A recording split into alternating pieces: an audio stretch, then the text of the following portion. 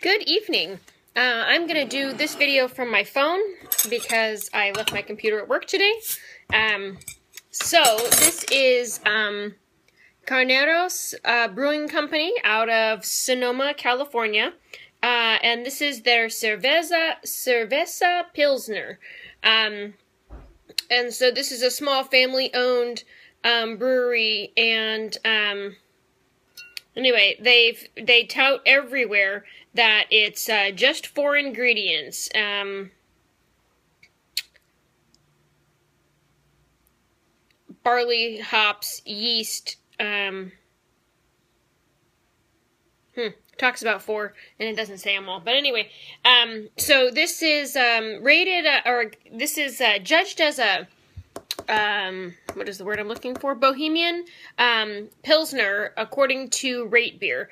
Uh, I couldn't really find any information that um, that narrowed down the category specifically. So it's in the Pilsner category, but within the Pilsner category, there are a couple of different types. There is um, a Bohemian, Bohemian or Czech Pilsner. Um, trying to pour beer and hold the video at the same time. This is hard. Um, uh, American Pilsner, and then um, the German Pilsner. So this is going to be rated as the Bohemian Pilsner. see if I can balance that. Okay. Um, and pour beer at the same time. Okay, anyway, now I got this. Um, so this should be pretty good. I'm really looking forward to trying this. I hadn't ever heard of uh, Carneros um, Brewery before, um, but I'm going to be in Napa this weekend, and um, so when I read that it was Sonoma, um, which is right next door, I thought, you know, I need to um, do some beer research on that region so I can try some beers while I'm up there. Um, so it's 5% alcohol by volume. Let me just verify that that's the case. Yes, 5% alcohol by volume, and the range for this particular style is 4.2 to 5.4, so it falls into that category um, nicely. Um, so, aroma. Ooh, this is gonna this is gonna be good. I'm looking forward to this. Hmm. Wow, it's yeasty. Um,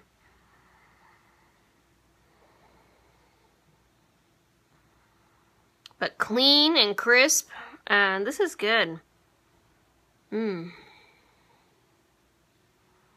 There's a little bit of a bitter smell to it. Um, I can definitely get the hops out of it.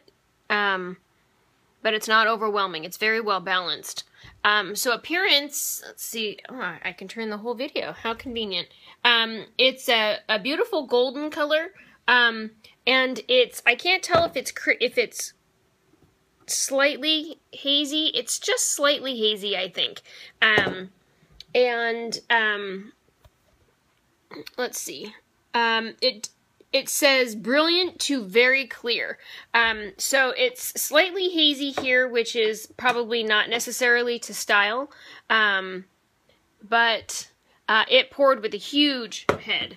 Um, and so it calmed down enough that I can actually drink it. I was worried that my first couple of drinks were just going to be um, um, foam. So that's nice. I'm glad that it um, calmed down. Um, it should have a, a creamy, long-lasting um, head, so it poured well for that. So let's give this a try.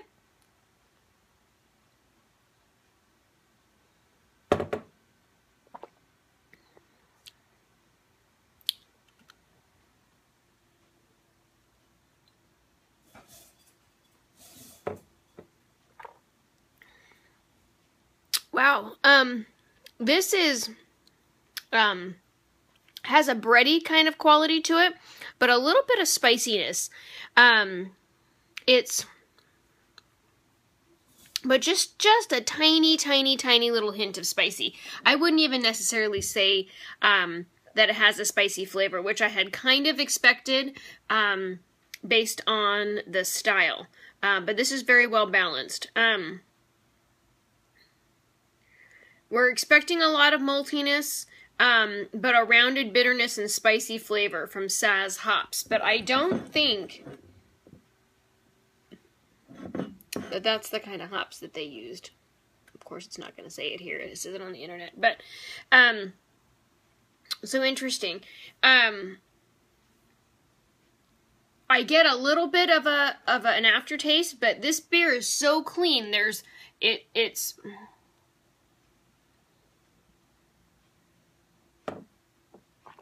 crisp and clean. It pretty much doesn't have any aftertaste. It has like this um mm, I almost want to say pretzely kind of a flavor to it.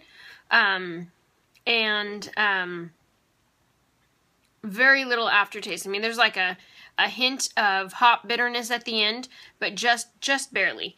Um, this beer is very in and out. Like the flavor happens quickly, um, and I think that you could miss it um, if you did just like a little four ounce pour and you drank the the whole taster in one go. You might not even fully experience this beer.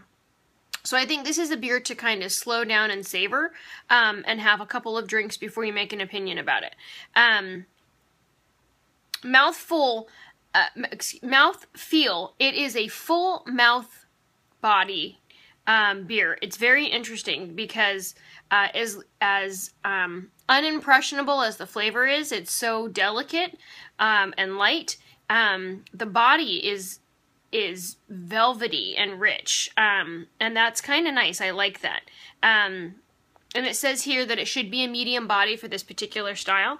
Uh, and I think that they've done that well. Um, the overall impression for this particular style is you're looking for something that's crisp and complex, well-rounded, um, yet refreshing. I think that description um, does this particular beer justice, um, but this is so different from, I think, what the American um, main, like, trend in beer is right now, that it's surprising and enjoyable. Um, you know, it's just crisp, it's clean, um, it has a very um, simple flavor to it.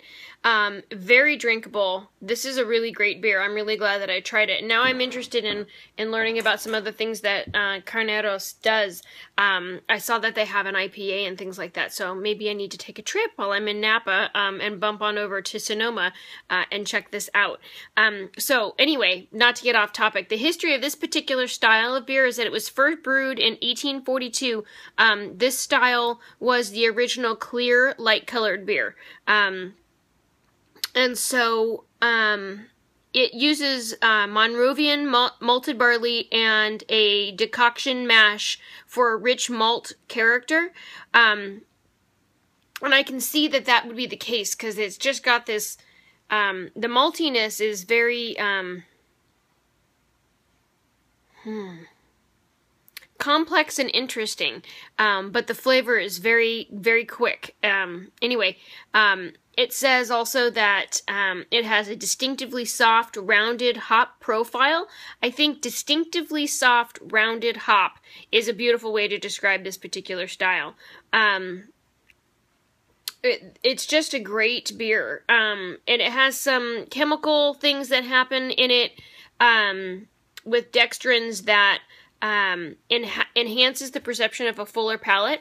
And I think that's very interesting um, that it's getting the body in, in that way. And so we get this nice complexity in the malt um, and in a way that would um, have processed it and made it, um, you would think, with more intense flavor to get the fuller um, mouthfeel, but it doesn't happen here. And um, it's very pleasant. Um, let's see. I think that covers everything. We got it all here. Anyway, very good beer. If you have a chance to give it a try, I definitely recommend it.